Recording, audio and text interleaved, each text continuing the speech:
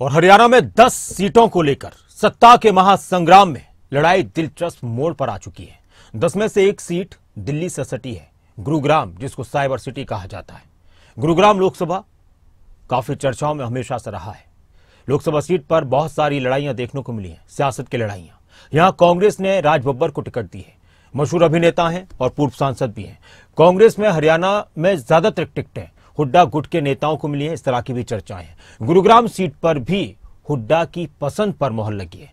Gurugram seat पर समीकरण क्या है? किस तरह की टक्कर राव इंद्रजीत और राज बब्बर में देखने को मिलेगी? ये बहुत दिलचस्प हो चुकी है लड़ाई। जातीय समीकरणों के हिसाब से अपनी अपनी जीत के दावे किए जा रहे हैं। एक तरफ़ ये कहा जा रहा है कि राव इंद्रजीत के सामने कोई नहीं टिक पाएगा। तो दूसरी तरफ़ कांग्रेस के नेताओं की तरफ़ से कहा जा रहा है कि अब लड़ाई कुछ और हो चुकी है। जेजेपी के अपने दावे हैं। एनएलओ की अपनी बातें ये रिपोर्ट देखिए।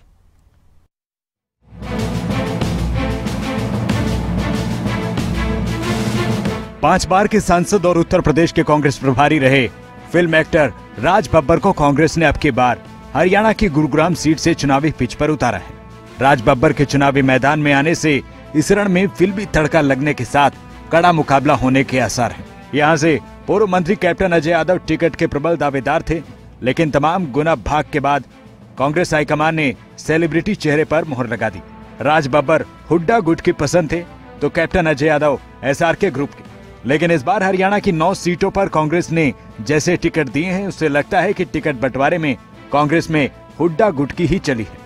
हरियाणा में कांग्रेस और आम आदमी पार्टी इंडिया गठबंधन के तहत मिलकर चुनावी मैदान में है। दस में से नौ सीटों पर कांग्रेस एक सीट कुरुक्षेत्र में आम आदमी पार्टी मैदान में है। गुरुग्राम सीट पर राज बब्बर के नाम पर मोहर लगने के साथ कांग्रेस ने अपने कोटे की सभी नौ सीटों पर उम्मीदवारों का ऐलान कर दिया है। कांग्रेस के नौ में से आठ टिकट पूर्व मुख्यमंत्री भूपेंद्र सिंह हुड्डा के करीबी नेताओं को मिले हैं, जबकि एसआर के गुट से कुमारी शैलजा को ही लोकसभा का टिकट मिल पाया है।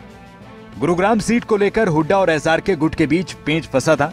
कांग्रेस की प्रदेश कमेटी ने गुरुग्राम सीट पर राज बब्बर और अजय यादव का नाम राष्ट्रीय कमेटी को भेजा था। मोहर राज बब्बर के नाम पर लगी। कांग्रेस ने राज बब्बर को गुरुग्राम से उम्मीदवार बनाकर स्थानीय समीकरण साधने के साथ साथ बीजेपी सांसद और मोदी सरकार के मंत्री रहे। राव इंद्रजीत के सियासी वर्चस्व को तोड़ने का दांव चला है। हार का तो है ही क्योंकि बीजेपी के प्रधान रह चुके हैं यूपी के।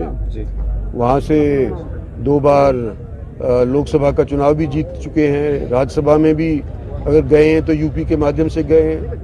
तो अगर वो हरियाणा में आते हैं तो ये तो महसूस तो होगा ही कि ये हरियाणा के बंदे नहीं है। गुरुग्राम सीट पर बड़ी संख्या में पंजाबी और मुस्लिम वोटर हैं। राज बब्बर पंजाबी समुदाय से आते हैं, जबकि पहली पत्नी मुस्लिम थी। इस तरह राज बब्बर को दोनों ही समुदाय का वोट मिल सकता है। सिने स्टार राज बब्बर को अपने फिल्मी फ़ैन के साथ भी मिल सकते हैं। नोह का इलाका गुरुग्राम सीट के तहत आता है, जो राज बब्बर के पीछे मजबूती से खड़ा हो सकता है। गुरुग्राम सीट में नूह ज़िले की तीन विधानसभा सीटें हैं, जिसमें नूह, बनाना, फिरोजपुर झिरका है। मुस्लिम बाहुल्य इलाका कांग्रेस का परंपरागत गढ़ रहा है। नूह में मुस्लिम वोट बैंक कांग्रेस के हक में रहा है। यही वजह है कि बीजेपी हर लोकसभा चुनाव में यहाँ से पिछड़ती रही है। यही समीकरण राज बब्बर के लिए चुनाव में थोड़ा आसान हो सकता है।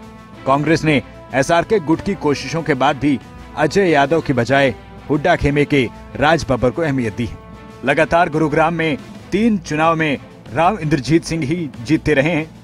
2019 में राव इंद्रजीत सिंह बीजेपी में रहते हुए चुनाव जीते, कैप्टन अजय सिंह यादव यहाँ से कांग्रेस के हार गए। 2014 में राव इंद्रजीत सिंह चुनाव जीते, जबकि जाकिर हुसैन हार गए, कांग्रेस के राव धर्मपाल भी इस चुनाव में हारे। 2009 में राव इंद्रजीत सिंह कांग्रेस में थे और चुनाव जीते, जाकिर हुसैन बीएसपी में थे हार गए। सुधा यादव भी बीजेपी में थी और चुनाव में हार मिली। गुरुग्राम सीट पर राज बब्बर की एंट्री के बाद यहाँ के समीकरण पर ज़्यादा फोकस है। इस लोकसभा सीट में नौ विधानसभा सीटें हैं, जिसमें नूह, फिरोजपुर, छिरका उनाना रेवाड़ी पर कांग्रेस का कब्जा है। सोना बादशाहपुर, पटौदी, बावल गुरुग्राम सीट पर बीजेपी का कब्जा है। राज बब्बर उन्नीस में सियासत में एंट्री करते हैं एक्टर से नेता बनते हैं। राज बब्बर बीपी सिंह के नेतृत्व वाली जनता दल से जुड़ते हैं।